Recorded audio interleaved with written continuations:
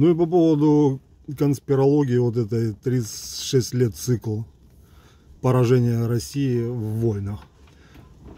То есть меня обвиняют в какой-то конспирологии. Я не конспиролог совершенно. Я вообще не верю ни в Бога, ни в черта. Я не суеверен. И ни в какую конспирологию там, ну, по крайней мере, я в ней не участвую. То, что я в ней не участвую, я, я, это не значит, что ее нет, и там кто-то не плетет какие-то заговоры. Я точно тут ни при чем, и зависимость эту 36-летнюю поражение России во всяких войнах не я заметил. То есть просто есть факт, есть циклы такие, да, 36 лет. Вот начиная с убийства Александра II, да, 1881 год, каждые 36 лет Россия с какой-то войны сваливает, теряя портки. Считаем. 81 прибавляем 36, получаем 1917. Помните, откуда сдреснула Российская империя? Да, она просто развалилась, блин.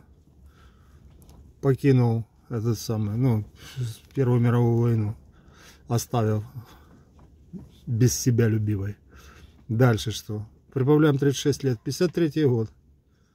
53 год, блин, вздыхает Сталин, блин, нафиг. И Советский Союз сдрыснул, блин, с Кореи в чем было. Так? Прибавляем еще 36 лет. Сколько получается? 89 год. 89 год, не помните, как из Афганистана сдриснул Советский Союз? Опять же, роняя портки, блин, в чем был? еще 36 лет, какой будет год? 2025. Ну, следующий получается. Ну так или нет? Причем в этих 36-летних циклах практически все... Да, куча есть других войн. Понятно, что Россия там она постоянно с кем-то воюет. Самое мирное государство на свете, в кавычках. Смотрите, считайте, там этот цикл, там 36, 24 э, относительно мирных года, а потом начинается э, какая-то военный зуд, да? То есть 81 плюс 24, 1905. Пошли воевать с Японией. Русско-японскую войну шапками закидать. Закидали. Получили трендюлей, блин, от японцев свалили. Да. Что там потом? Если с 17 прибавляем еще 24 года относительно мирных. Что начинается 1941 год, да?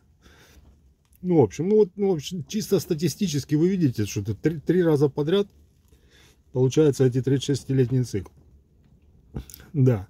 А то, что конспирология у кого-то существует, ну, посмотрите хотя бы на такой нюанс, блин.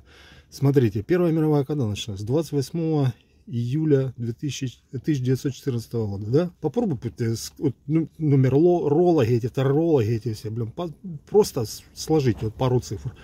28 плюс 0,7 это месяц, да, июля, плюс 19 плюс 14. Получится у вас 68 число, правильно? Начала Второй мировой войны. 1 сентября 1939 года. 0,1 складываем опять тот же так пары, пары чисел.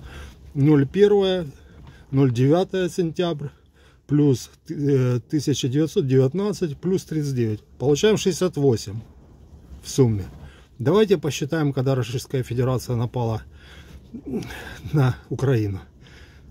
24 02 февраль, да, 2022. Складывайте, пожалуйста.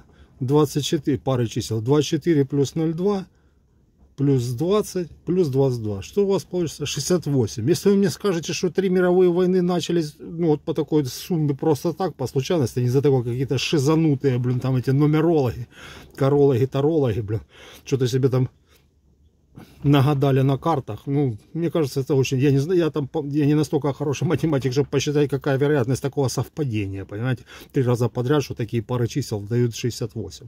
Но, блин, то, что это присутствует, это же, по-моему, очевидно. Мне кажется, вероятность такого совпадения крайне невелика. Что приводит меня к выводу, что там действительно сидят какие-то шизики, блин, и говорят, нет, надо начинать вот в этот день, иначе там звезды не сойдутся. Я еще раз говорю, я, блин, считаю этих астрологов, тарологов, нумерологов просто шизами. Но это же не значит, что они не сидят там где-то и не считают, что они управляют миром. Или пытаются это сделать. В любом случае, Рашка загнется, вот я не знаю. Я надеюсь, что уже в этом году. Но если в 25-м, ничего, подождем. И поможем, кстати. Все буду Украина.